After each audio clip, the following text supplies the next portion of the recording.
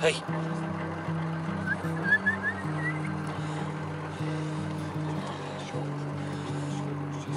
V. V. Good girl.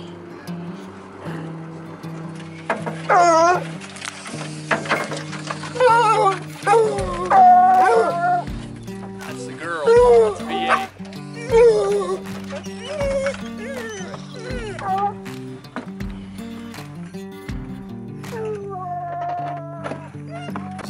cougar hunt has been on my list for as long as I can remember, so I finally stopped talking about it and made the plan to go do it.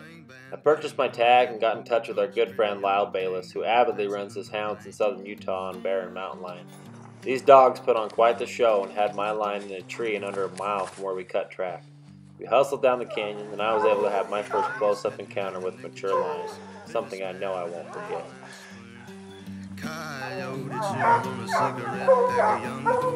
Home at the moon. Hey, darling, sleeping on the blacktop. Hey, darling, running through the trees, honey. Hey, darling, leaving for the next town. Listen, my set sketches up with me.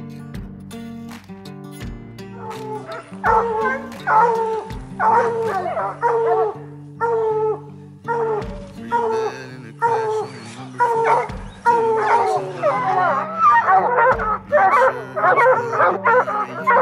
I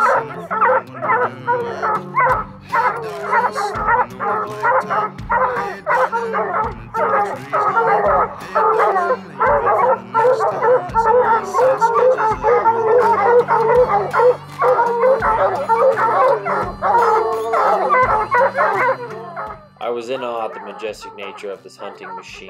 There is nothing else quite like them. I was able to capture some great footage and a few good live shots before pulling the trigger on this mature cat. Sweeter in this town. Could it be it's the same as the last? I swear I've seen your face elsewhere before, just as familiar as a bottle and a glass.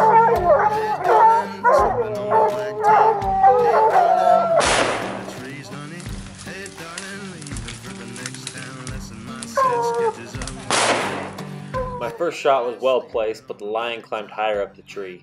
Quickly racked another round into my 30-30 and shot again. The lion was dead within seconds, and I was ecstatic.